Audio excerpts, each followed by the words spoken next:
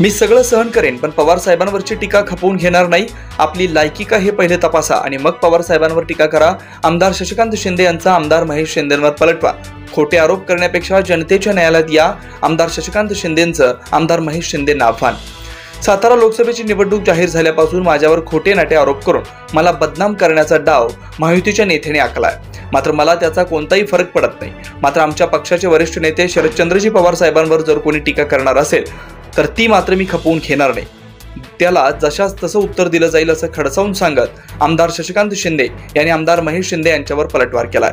आमदार शशिकांत शिंदे यांनी एपीएमसी मार्केटमध्ये भ्रष्टाचार केलाय असा आरोप विरोधी पक्षांकडून गेल्या अनेक दिवसांपासून सुरू आहे.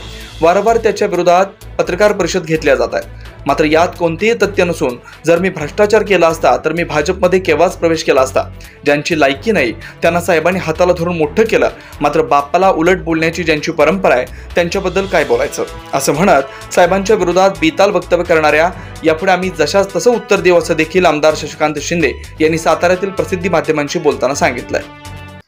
शरद पवारांच्यावर बोलण्याची त्यांची स्वतःची लायकी नाही. एक शरद पवारांनी त्यांना त्या ठिकाणी या वेगवेगळ्या क्षेत्रामध्ये सुरुवात करण्यासाठी आशीर्वाद दिला म्हणून आजपर्यंत इथं पोचले पण काय बापाला विचारण्याची प्रवृत्ती काय लोकांची असते त्यामुळे त्यांच्यावर काय अपेक्षा करणं योग्य नाही.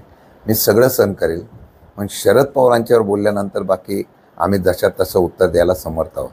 आपण आपल्या लायकीमध्ये राहावं. हा सातारा जिल्हा पवार साहेबांच्या महाराष्ट्रामध्ये ज्यावेळेला पवार साहेबावर कोण बोललं की त्या ठिकाणी इतिहास करतो असं तुम्ही बोलत राहा. पण त्याला उत्तर जनता पवारसाहेबावर जेवढे तुम्ही टीका कराल रयत शिक्षण संस्थेवर जेवढी तुम्ही टीका केली या ठिकाणी आपल्याला सांगतो की तुम्ही असंच बोलत राहिला तर पवार साहेबांच्यावर टीका करण्याचं काय होतं हे महाराष्ट्राने बघितलेलं आहे. आणि या निवडणुकीमध्ये तुम्ही अशाच पद्धतीने पवारसाहेबांवर टीका केली तर साताराची जिल्हा ती जनता यशवंतराव चव्हाणांचा आणि शरद पवारांचा कसा विचार आहे तो निवडणुकीला नक्कीच मतदानात दाखवून देतील. आणि त्यामुळे त्याचा फायदा उमेदवाराला होतो का तोटा होतो तो येणाऱ्या काळामध्ये दिसून येईल.